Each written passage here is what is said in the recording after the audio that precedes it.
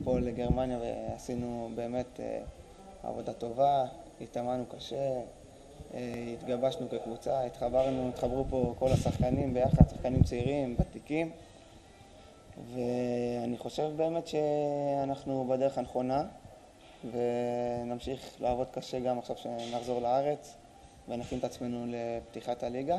שזו המטרה החשובה באמת של כל ההכנה הזאת. יש באמת, אה, השנה במיוחד זה בולט, אווירה מאוד ביתית של הרבה שחקנים צעירים שעלו מהנוער וחזרו אלינו מקבוצות אחרות.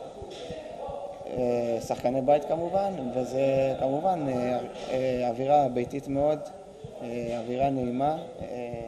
שחקנים מכירים אחד את השני גם מתקופות הנוער וגם מהשנים האחרונות. וזה מוסיף לנו מבחינה חברתית, ועכשיו נשאר לנו רק להראות uh, על המגרש. ממה שאני רואה אפשר לצפות לראות קבוצה מצוינת, קבוצה לוחמת, קבוצה שתרצה להגיע הכי גבוה שאפשר. אני מאמין uh, גדול מאוד בקבוצה הזאת, אני חושב שאנחנו יכולים uh, uh, לכוון למעלה, וימים יגידו. קודם כל אנחנו מודעים לזה שהשנה שחקנים שהיו פה בשנים האחרונות הם אלו שהובילו את הקבוצה. אה, התווספו לנו הצעירים אה, למספר השחקנים הזה, שבאמת אנחנו מקווים שהם שחקנים מאוד מוכשרים, אנחנו מקווים שהם יעשו את הפריצה השנה. אה, וכן, אנחנו מודעים לזה ואנחנו מוכנים לזה, ואנחנו נעשה את המקסימום שהכל ילך לקבוצה הזאת. תשמע, באמת, השנה הפועל תל אביב היו שנה שעברה מאוד מאוד חזקים והם נשארו גם ככה. וכמובן שאחרי דאבל הם אה, באים עם הרבה ביטחון. במכבי תל אביב, איך אפשר לא לדבר עליה, התחזקו בצורה מאוד משמעותית.